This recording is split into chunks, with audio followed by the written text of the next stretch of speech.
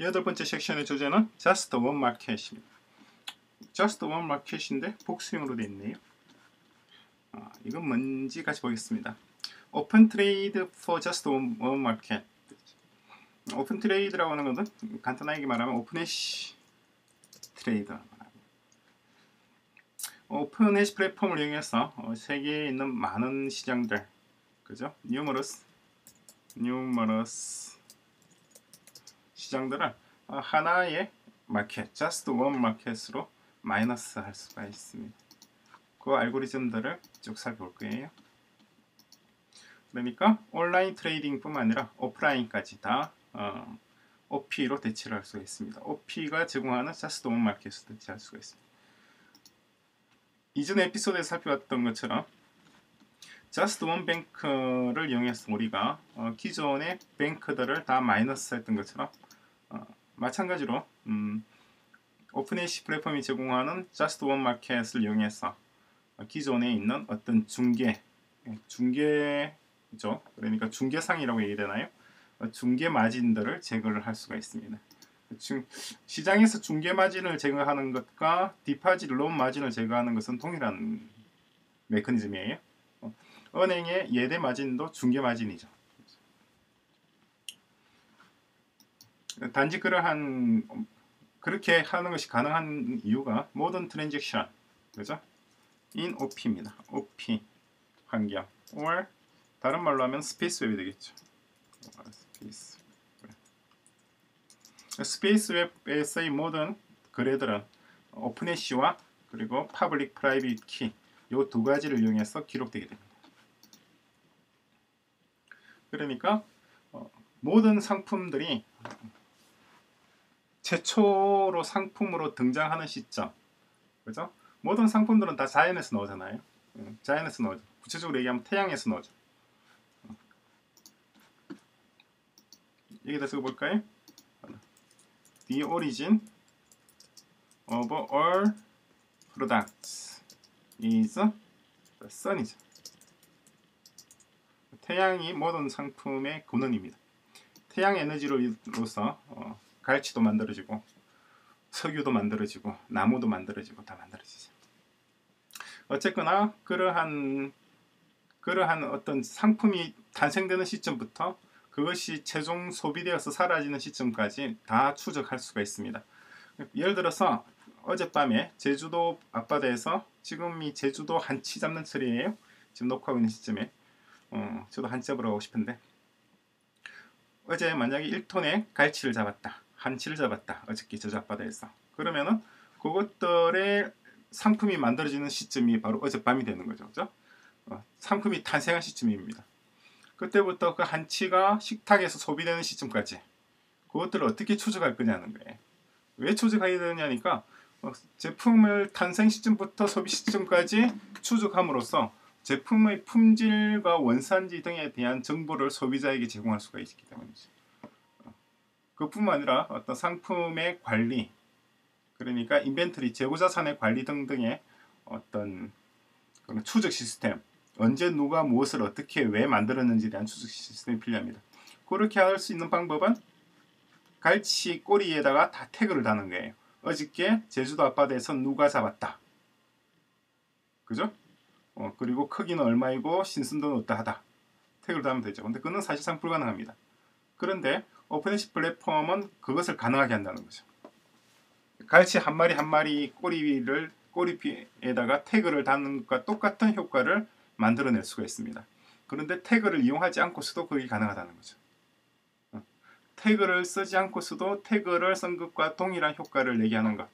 그게 abnormal, abnormality detection 혹은 abnormality 아, 발음하기 힘드네요. Abnormality detection이라고 하는 겁니다. 이렇게 음, 표현할 수도 있고 이렇게 표현할 수도 있습니다. abnormality라고 하는 거는 보다 보시피 이렇게 짠짠하게 뭐가 이 데이터가 쭉쭉쭉쭉 하다가 한번 탁 튀어오르죠. 여기 abnormality입니다. 요걸 찾아내는 거예요. 요걸 찾아내므로 해서 갈치 한 마리 한 마리의 꼬리표를 달아놓은 것과 완전히 동일한 효과를 볼 수가 있습니다. 상당히 신기한 거예요. 그 메커니즘이 여러분들.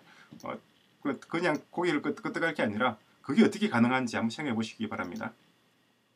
그게 어떻게 가능하냐면은 어, 바로 오픈시가 모든 이벤트, 지구상에서 발생하는 모든 이벤트를 기록하기 때문이죠. 사실상 모든 이벤트는 아닙니다. 어, 지구에서 발생하는 이벤트의 뭐 1조분의 1도 기록하지 않아요. 어, 1경분의 1도 기록하지 않습니다. 그럼에도 불구하고 그 기록되는 것만으로도 인간 사회에서 일어나는 재반 사건, 거래 어, 이런 것에 대한 정보를 완벽하게 가질 수가 있어요. 여기 보면 truth라는 게 있잖아요. truth가 있는데 truth를 이쪽 편에서 지금 왼편이죠. 왼편에서 빛을 비추면 true는 이런 형태가 되고 오른쪽에서 빛을 비추게 되면 true는 이런 형태가 됩니다. Truth라고 하는 것은 다양한 true들의 낳는 다른 다양한 true들을 낳는 어머니 그게 truth입니다. 그 OpenHash 플랫폼은 기본적으로 이 true들을 만들어내는 거예요. true들. 이렇게 true들을 생산함으로 해서 이 true들의 어머니인 truth를 유추할 수 있는 수단이 바로 OpenHash 플랫폼입니다. 구체적으로 어떻게 진행되냐니까 모든 피싱 쉽스 그러니까 물고기를 잡는 제주도에서 바다에서 물고기를 잡는 고깃배들이 그날의 어획량을 기록을 합니다. 그리고 모든 도매상들도 역시 그날의 판매량을 기록을 하고 모든 소매상들도 그날의 판매량을 기록하고 모든 물류회사들도 그날의 제품 물류량을 기록을 하고 모든 신용카드 회사들이 신용카드로서 특정 상품을 판, 판매하고 구매한 내역을 기록을 한다는 거죠. 이것들이 다 true입니다. 그게 다 true가 되는 거죠. 다 기록된 건 true이고 이런 OpenHash 플랫폼에 기록된 사건들은 절대 위조나 변조될 수가 없습니다. 바로 이러한 true로 인해서 궁극적으로 OpenHash 플랫폼은 이런 truth를 낳게 되는 거죠. 이 truth를 낳게 되는 거고 이 truth에서 벗어나는 것들. 예를 들어서 어, 갈치를 뭐예요? 신선도 일주일 전에 잡은 갈치인데 어저께 잡은 갈치라고 판매를 한단 말이에요. 그러면은 그것은 abnormality detection에 걸리게 되어 있습니다. 그게 abnormality detection에 하는 역할이에요. 이렇게 OpenHash 플랫폼 기반의 시장 시스템을 이용하게 되면은 기존의 유통 물류 비용, 유통 기존의 유통 시스템을 운영하는 데 드는 비용의 1% 미만으로도 어, 동일한 유통 시스템을 훨씬 더 신뢰할 만한 방법으로 재구성할 수가 있습니다. 지금 우리가 재래시장 가서 갈치를 살 때 이 갈치가 언제 잡힌 갈치인지 어, 그런 거알 수가 없잖아요. 그죠? 그리고 내가 마늘을 살 때 그 마늘이 국산인지 중국산인지도 알 수가 없습니다. 뭐 물론 이제 원산시 표시는 해놓고는 있습니다만은 가짜가 있을 수가 있죠. 가짜 참기름, 중국산 참기름을 국산 참기름으로 속일 수도 있고 국산 참기름에다가 식용유나 들기름을 섞어서 가짜 참기름을 만들어서 팔 수도 있죠. 그와 같은 것들이 원천적으로 불가능해집니다. 왜냐하니까 어버너멀티 디텍션에 걸리는 거예요. 참깨 수확량이 있고 그 참깨로부터 참기름을 생산해낸 양이 있고 그것이 소비자에게 판매되는 양이 있고 재고자산으로 남아있는 양이 있죠. 이러한 기록들이 다 true 정보를 구성하게 됩니다. 따라서 그러한 정보의 네트워크를 일탈할 수가 없어요. 사람은 사람을 속일 수 있습니다만 사람이 AI를 속일 수는 없어요. 절대. 그거는 바둑 두면서 꼼수로 알파고를 이기겠다는 것과 똑같습니다. 절대 이길 수가 없어요.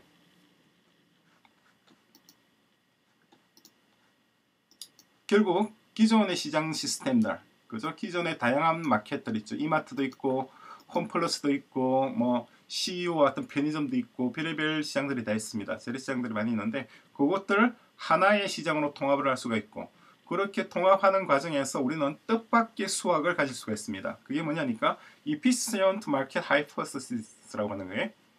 EMH라고 얘기하는데 Efficient Market Hypothesis라고 하는 것은 유효 시장 가설입니다. 만약에 시장에 참여하는 모든 사람들이 시장에 관한 모든 정보를 다 알 수가 있다. 다 알고 거래를 한다고 가정을 할 때 그때 시장은 어떠한 형태의 시장이 될 것인가. 사실상 우리 모두는 시장에 대한 정보를 다 가질 수는 없고 극히 일부분, 너무너무 일부분만 가지고 어, 유추해서 뭔가를 거래를 이뤄나가는 거예요. 땅을 사거나 집을 사고 팔거나 할 때 이 집의 가치가 구체적으로 정확히 얼마인지를 판단하기 위해서는 굉장히 많은 정보가 필요합니다. 해당 국가의 국가 위험이 어떠한지, 해당 지역의 어떤 정책이 어떠한 건지, 내가 사려고 하는 집이 있는 곳에 자연 환경이 어떠하고 우기에는 어떠하고 금기에는 어떠하고 어, 또 이 인근의 범죄율은 어떠하고 이러한 모든 정보를 다 가져야지 특정 집에 대한 주택에 대한 가치를 산정을 할 수가 있는데 보통 사람들은 그런 모든 정보를 가질 수가 없다는 거죠. 따라서 불완전한 정보 속에서 불완전하게 거래가 이루어질 수밖에 없습니다. 시장에서 거래되는 가격들은 어, 그것이 공정 가격이 아니라 공정 가격을 지향하지만 절대 공정하지 않은 가격으로만 언제나 체결될 수밖에 없는 것이죠.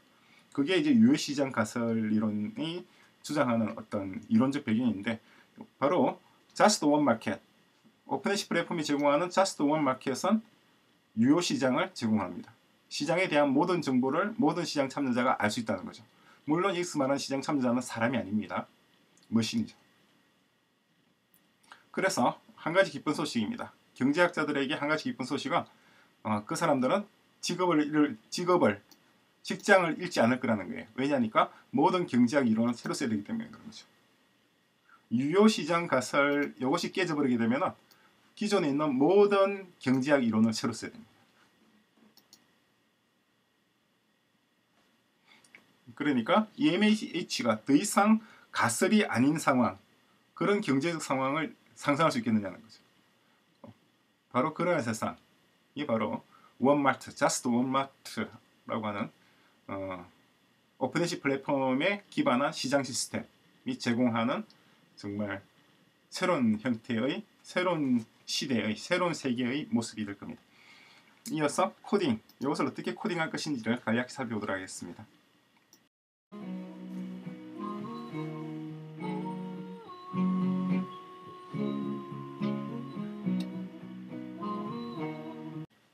Just One Market의 코딩 개요입니다. 어, 여기 보면은 100, 1112번이죠. 여기에 market module of OpenHash platform 여기 여러 가지 function들이 쭉 정의되어 있는데 이 내용들을 우리가 코딩하기 앞서서 이 내용들이 구체적으로 어떤 내용들인지 한번 좀 살펴보도록 하겠습니다. 그걸 이렇게 적어 놓을 거예요. OP에다가 폴더를 하나 만들죠. 이름은 마켓 폴더입니다. Just One Market이죠. 그죠? 여기에 buy 있고 다음에 sell 또 하나 만들죠. sell sell ts 있고 다음에 transaction 음, ts 요렇게 있고 또 하나 더 있어야 되겠네요. bank balance를 adjust 해야 되니까 adjust 어, bank balance bank balance 이름이 너무 긴가요? yes. 그냥 adjust balance만 하겠습니다. 그리고 또 이 사실을 어, 기록해야 되니까 그죠? bookkeeping bookkeeping ts 장부에다 기록하는 거죠. 일단 buy는 기본적으로 물건을 사는 겁니다. buy order 어, request this function function shall treat the request by request request of 지설 어, 지설 어떤 지설이 어, 구매하겠다고 할 때 그것을 처리하는 메커니즘을 여기다 다 기술할 겁니다. 그러면 뭐, 뭐 계좌를 열고 뭐 계약서를 준비하고 이런 것도 있어야겠죠, 그죠? 어, 그러니까 계약서도 하나 있어야겠네. contract, ts 파일. 이렇게 기본적으로 대충 이 정도 6개 정도의 펑션으로서 시작을 하죠. 그런 다음에 나중에 추가해 나갈 겁니다. 근데 by 종류가 두 가지가 있을 거예요. There are two kinds of buy order 있을 텐데 첫 번째는 즉시 인스턴트 한 거죠. 어디서 식당에서 밥을 먹고 instant payment 식당에서 밥을 먹고 식비를 계산하는 거 이런 것이 instant payment 될 거고 그렇지 않고 내가 어떤 물건을 사고 싶은데 아 신발을 사고 싶은데 나한테 맞는 신발을 좀 추천해 달라. 그죠? 이런 것들은 어, 조금 다르죠. 그 외에 어떤 by request to op 이두 가지를 좀 구분해서 처리를 하게 될 겁니다. instant payment는 바로 계좌를 열어서 그냥 정산을 하면 되는 거고 by request의 경우에는 그에 적합한 상품을 어떻게 구매를 하고 뭐 찾고 이렇게 되잖아요. 그래서 그런 부분들을 정리를 해야 될 겁니다. 그거는 별도의 파일을 하나 하죠. search product ts 요건 아마 뭐 ml 모듈 to match to find입니다. find a or several one or several product 해야 되겠네. one or several product matching best matching이죠. best matching the request of buyer 수리하는 겁니다. 요거는 그 아마존 이런 데서 이미 많이 하고 있는 거예요. 어, 아마존에서 하고 있는 recommendation 모델 그죠? recommendation 모델입니다. 요거는 이미 알고리즘도 많이 이 공, 발, 알려져 있고 또 쓸 수 있는 library도 많이 있습니다. 그게 search product 제품을 구매하는 하는 건데 요거는 이제 어, 어디서 상품을 구매를 해야 될까요? 그러면은 요건 어, 하나의 또 별도의 하나의 펑션을 만들어 놓는 게 좋겠네요. 그러니까 product list list ts 파일 여기 이 파일이 데이터베이스 역할을 하는 걸로 하겠습니다. 데이터베이스 for 어, product to 판매할 상품을 둔 거죠. 정보 어떤 그러니까 위치 어디 있느냐는 거죠. 특히 GPS 좌표 of product 그죠?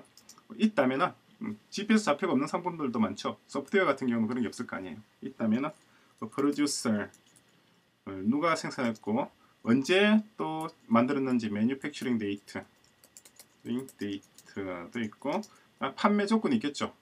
sale condition 어, 집에까지 배달해 준다든지 아니면 배송비 별도라든지 이런 여러 가지 조건들 있는 데이터베이스 그것을 product list에다 저장을 하는 거라죠.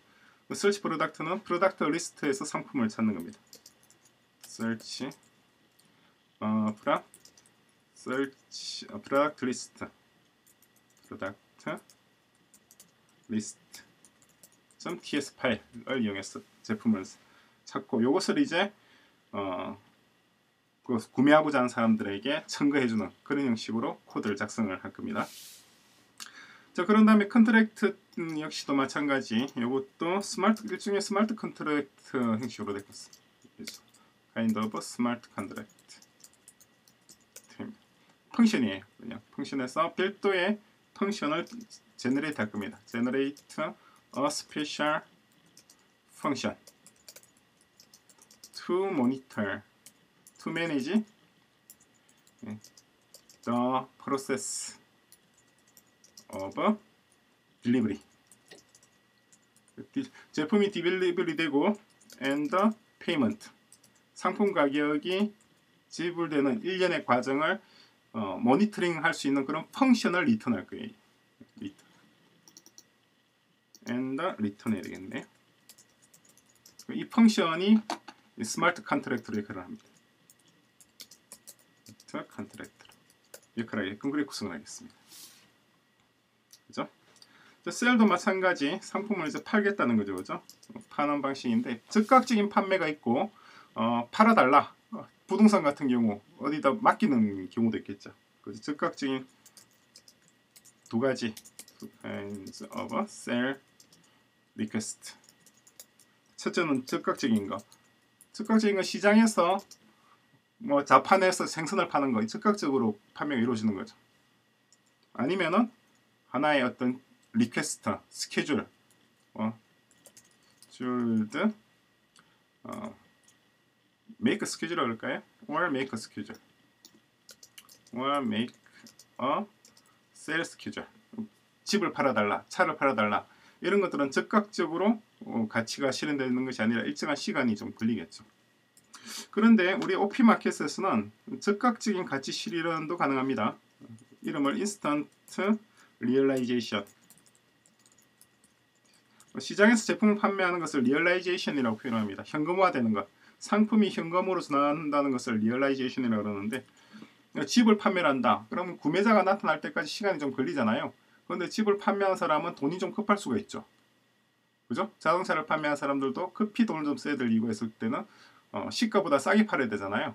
그런 것들을 처리해주는 그런 역할을 할 것이 instant realization function 요 옆 function입니다. 그러니까 이 function은 time value of money 그죠? 돈의 시간 가치 를 제공합니다. 그래서 어, 즉각적인 판매가 불가능한 상품에 대해서 즉각적인 판매를 실현하고 그죠? realize instant sale 그죠? for product 그리고 나중에 실제 판매가 일어난 뒤에 정산하는 거죠. and settle payment after real transaction 그죠? 그 집을 팔려고 내놨을 때 일단 OP가 어, 그 집값을 먼저 지불하는 거예요 판매자에게 지급을 하고 그러고 난 뒤에 나중에 실제 집을 구매하는 구매자가 나타나서 실제 판매가 일어났을 때 그때 그 차익을 정산하는 거죠. 근데 이런 것들을 지금은 시장에서 지금 어, 중개인들이 이런 역할을 하는데 그 중개인들의 역할을 하나의 펑션으로 대체하겠다는 겁니다. 그죠? This function shall replace the role of 뭐라고 해야 되나요? market 어, arbitrator라고 얘기를 합니다. arbitrators 중개인, 중개자, 차익 거래자들입니다. 그것을 어, 이 펑션으로 중요함으로써 시장에 참여하는 대다수의 이익의 예, 늘어날 수가 있죠. 그게 instant realization function입니다. 이걸 instant realization 어떻게 하는지도 자세하게 밑으로 코딩을 해나갑니다. 예, 파이고 그다음에 adjust balance 같은 경우는 이제 밸런스를 조정하는 겁니다. 그러니까 마이너스 the balance of 그죠? buyer 하고 and 어, 플러스 해야 되겠죠. 플러스 of seller in a transaction입니다. 그게 밸런스를 조정하는 function의 역할입니다. 이 function의 서명이 있어야지 이 function의 서명이 있는 상태에서 어, 뭐예요? 거래가 완결될 수가 있습니다. 그리고 이 펑션이 동작하기 위해서는 반드시 필요한 게 있죠. this function require keys, 그죠? private keys of a seller buyer. 그래야지 되는 거잖아요. 그 사람의 자금을 조정할 수가 있죠. 그죠? and the public key of a seller. 이렇게 됩니다. 근데 여기 상당히 재밌는 것이 이것이 똑같이 반복됩니다. 어떻게 반복되느냐니까 in addition 또한 predicate of seller and of buyer 되는 거죠. 바뀌게 돼. 순서가 바뀌어서 이렇게 됩니다. 이게 무슨 경우냐니까 이 경우 첫 번째 경우는 현금의 현금의 이전입니다. 그러니까 standard currency의 transfer죠. 그죠? 그 transfer from buyer to seller. 그죠? 그러니까 구매자의 계좌로부터 판매자의 계좌로 돈을 이전하기 위해서 필요한 것이 이러한 키가 필요하고 또 반대로 구매자의 뭐예요? 자산이잖아요. transfer 판매자의 자산이죠. asset of seller 자동차면 자동차, 집이면 집. 그죠? to buyer. 그죠? 그래 집을 판다고 할 때 집을 판다고 할 때 집을 판매하는 사람의 지금은 인감 증명이라는 게 필요하잖아요. 그게 바로 private key이죠. 이해되시나요? 그 두 가지가 다 이게 됩니다. adjust balance 할 때. 그렇죠?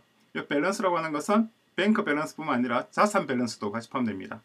집을 판매한다고 할 집을 사고 판다고 할 때 사는 사람의 계좌에서 돈을 뽑아서 파는 사람의 계좌로 넣어줘야 되고 또한 파는 사람의 집문서를 사는 사람에게 이전해줘야 되죠. 따라서 사는 사람과 파는 사람 둘 다 자신의 private key를 제공해야 됩니다. 그것이 adjust balance입니다. 자, bookkeeping은 그에 대한 뒤처리가 되는 거죠. 뒤처리를 해서 어, 뭐라고 해야 되나요? record라고 해야 되나요? 리코드 어, 그걸 뭐라고 하죠? transaction to ledger 그리고 and other financial statement financial statement such as balance sheet라든가 어, 그다음에 income income statement라든가 cash flow라든가 그죠? retained earnings 뭐, 뭐 statement 그죠? 이런 지분표라고 보통 우리 표현하죠. 이러한 재무제표를 작성하고 하는 것이 바로 bookkeeping의 역할입니다. 이 bookkeeping 역시도 파는 사람과 this function also require the private key입니다. private keys of both seller and the buyer. 그죠? 이 사람들의 파는 사람과 사는 사람의 private key가 있어야지 그 사람들의 재무제표를 수정할 수가 있죠. 재무제표는 자동적으로 수, 만들어지게 될 겁니다. 이건 지금 간단하게 이렇게 한두 문장으로 표시했습니다만은 음, 처음에는 시산표, 그죠? trial sheet라고 그러나요? trial sheet에 기록을 하고 다음에 이것이 income statement로 가게 되고 income statement로 가고 이것이 balance sheet로 가고 balance sheet로 가고 그런 다음에 이것이 어, cash flow statement cash flow statement로 가고 다음에 이게 이익 잉여금 처분 계산서 retained earning 어 뭐 statement로 가나요? statement 그거 하고 다음 이것이 financial ratio로 가요. financial report various ratios 뭐 재고 자산 회전율이라든가 뭐 부채 비율이라든가 각종 재무 지표를 생산할 수 있는 보고서로 전달되게 되죠. 요 일련의 과정들이 다 북키핑 펑션에 의해서 진행이 됩니다. 이전에 그 격리팀과 회계사, 공인회계사가 하던 역할들이죠. 이전에 격리팀이 하고 어, 공인회계사가 이걸 이제 감수하는 거죠. 감사하는 건데 감사라고 하는 것은 격리팀이 관련된 회계 원칙과 법규에 따라서 제대로 작성했는지를 확인하는 것이 공인회계사 역할입니다. 그런데 어, 오픈해시 플랫폼에서는 모든 데이터가 참입니다. 거짓일 수가 없어요. 따라서 감사 과정은 필요하지 않습니다. 필요한 건 이제 격리 과정이 필요하죠. 이런 재무제표를 작성하는 과정이 필요한데 그 과정도 이 펑션으로서 자동화시키는 거죠. 그죠? 그리고 셀 제품을 판매하는 거 판매 등록이고 어, 그리고 뭐 그 외에도 굉장히 많은 데이터들이 있습니다만은 어, 펑션들이 있습니다만은 일단은 크게 큰 줄기로 봐서 이렇게 8개 정도로 어치를 합니다. 트랜잭션은 이제 거래의 발생, 그죠? 처음에 이제 거래가 발생할 때 제일 먼저 스타트하는 게 바로 이겁니다. Start the process of transaction. 그래서 이 transaction function이 위에 있는 이 8가지, 9가지, 10가지 function들을 그때 그때 불러서 바톤을 넘겨주게 되죠. 그리고 음, 이거 스타트 되는 것은 어, 둘다 가능합니다.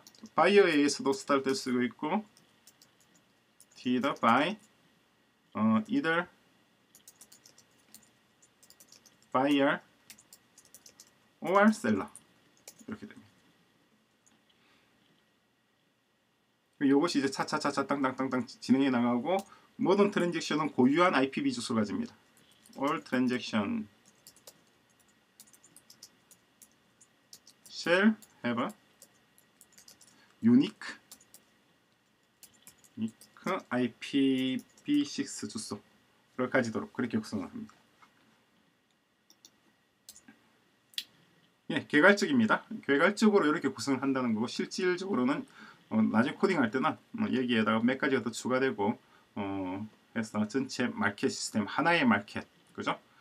하나의 마켓으로 세계에 있는 모든 종류의 마켓 재래시장이라든가 이마트, 홈플러스, 롯데마트, CU, GS, 도매시장, 뭐 경동시장 이런 것들을 다 포괄하는 하나의 마켓을 구성하는 거죠. 물론 온라인 시장 11번가라든가 쿠팡이라든가 티몬 이러한 시장들도 요 OP가 제공하는 자스트 원 마켓 속으로 통합이 될 겁니다. 아 하나를 빠뜨렸네요. 나중에 추가하도록 하겠습니다만 UI 그죠? 이걸 transaction UI라 그럴까요? 션 UI TS 이 녀석은 user interface를 담당할 거죠. 유저 인터페이스 of 마켓 모듈 원 마켓이죠. just one market just one market and its users 사람의 경우에는 리액트를 아마 쓰시네요. 리액트 JS 어? human user